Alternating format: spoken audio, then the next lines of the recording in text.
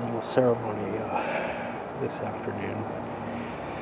And those are the remains of my wife. Um, I put it on video, but uh, it's private right now, and I I don't know to what extent I'm going to share it. It has resulted in a three beer night.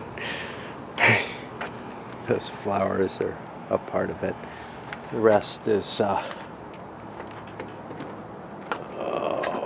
over here. Well, some on this table. I kept a little bit of her in some flowers that uh, she had. I'm not sure for scent or whatever, but